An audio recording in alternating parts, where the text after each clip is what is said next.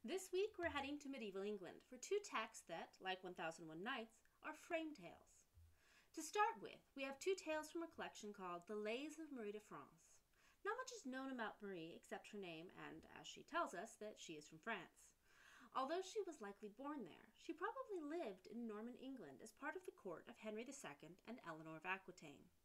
In England at this time, after the conquest of William I, the language of the nobility would have been French, and it was in language that Marie composed her lays.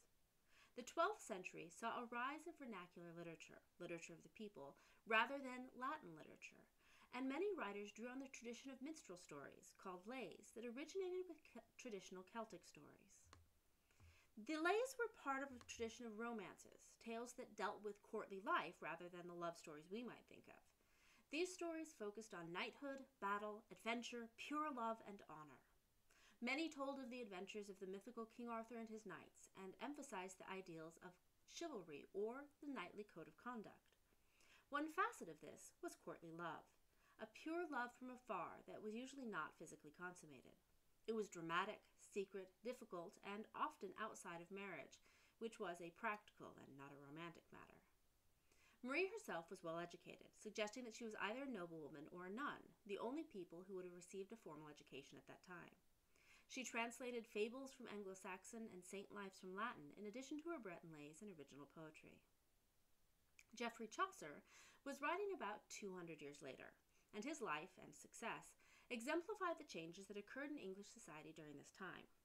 Chaucer was born in the merchant class, a group that was becoming more and more influential during this time.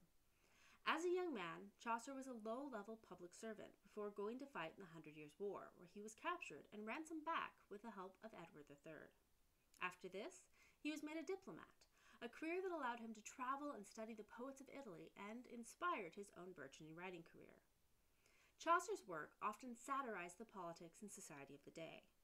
Our text for this week, The Canterbury Tales, uses the conceit of a group of pilgrims traveling to the holy site of Canterbury Cathedral, where Thomas à Becket had been martyred during the reign of Henry II. In it, Chaucer explores and critiques all levels of society, including the wealthy nobility, the corrupted clergy, the working merchants, and the servants who traveled with them.